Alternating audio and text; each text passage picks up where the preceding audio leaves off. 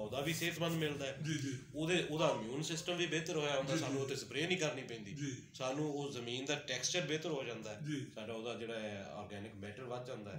ਔਰ ਇਹ ਉਹੀ ਤਰੀਕਾ ਹੈ ਜਿਹੜਾ ਅੱਲਾ ਕੁਦਰਤ ਜਿਹੜੀ ਹੈ ਨਾ ਕਰੋੜਾ ਸਾਲਾਂ ਤੋਂ ਚਲਾ ਰਹੀ ਹੈ। ਠੀਕ ਹੈ। ਉਹ ਜਿਹੜਾ ਅਸੀਂ ਕਹਿੰਦੇ ਆ ਕਿ ਪਿਕਨਿਕ ਚੱਲ ਰਹੀ ਆ ਪਿਕਨਿਕ ਜਿਹੜਾ ਉਹਦੀ ਮਲਚਿੰਗ ਆ ਜਾਂ ਉਹਦਾ ਸਿਸਟਮ ਹੈ ਉਹ ਬਿਲਕੁਲ 100% ਠੀਕ ਉਹ ਮਾਹੌਲ ਪਿਕਨਿਕ ਦਿੰਦੀ ਆ ਉਹਨੂੰ ਤੇ ਉੱਥੇ ਕੰਮ ਇਹ ਬੈਕਟੀਰੀਆ ਕਰਦੇ ਜੀ ਜੀ ਜੀ।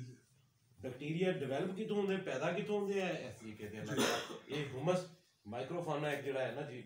ਉਹ ਇੱਕ ਕ੍ਰੀਏਟ ਹੁੰਦਾ ਉੱਥੇ। ਜੀ। ਉਹ ਉਸ ਜਿਹੜਾ ਨਾ ਜੀ ਉਹ ਤਹਿ ਦੇ ਵਿੱਚ ਜ਼ਮੀਨ ਦੇ ਉੱਤੇ। ਜੀ। ਔਰ ਉਹ ਜਿਹੜਾ ਹੈ ਨਾ ਜੀ ਉਹ ਹਿਊਮਸ ਕ੍ਰੀਏਟ ਕਰਦਾ ਹੈ। ਔਰ ਹਿਊਮਸ ਤੋਂ ਫਿਰ ਜਿਹੜਾ ਹੈ ਬੈਕਟੀਰੀਆ ਸਾਰਾ ਜਿਹੜਾ ਇੱਕ ਸਟਰਕਚਰ ਪੈਦਾ ਹੁੰਦਾ ਜਿੱਥੋਂ ਕਿ ਇਹ ਅੱਗੇ ਵਧਣਾ ਸ਼ੁਰੂ